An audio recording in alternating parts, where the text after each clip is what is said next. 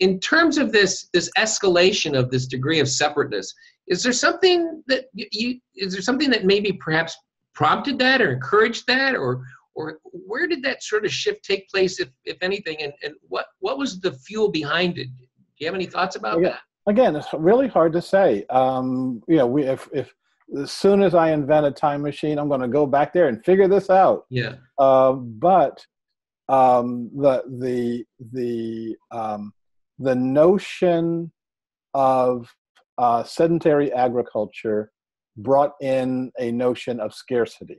Before that, we reckon the whole earth is abundant and the, and and we always had a relationship to our food and our food sources.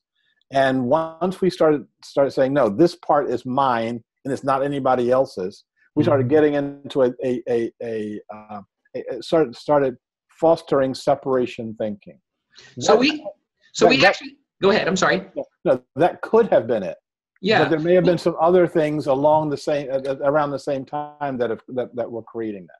Well, it makes sense that we went from a community concept, mm-hmm. food gatherers all working together. Everybody have a role in working together and bringing their their their talents and their skills or their jobs together to build the community and then that separation going into a, basically a sense of isolation where people you know basically went off and did their own thing and didn't need the cooperation of the community. Yep.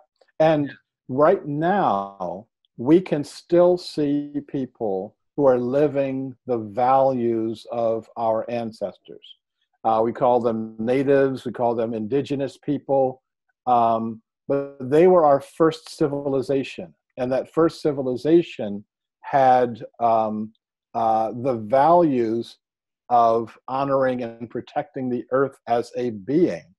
And we, we, we walked away from that, uh, of, of honoring and protecting each other and, and protecting our, our livelihood, our food sources, our environment. And we walked away from that. I think that we need to start walking back towards some of this stuff. And not necessarily run around in loincloths. Um, I don't, I'm not, I don't, I don't advocate that, especially for me.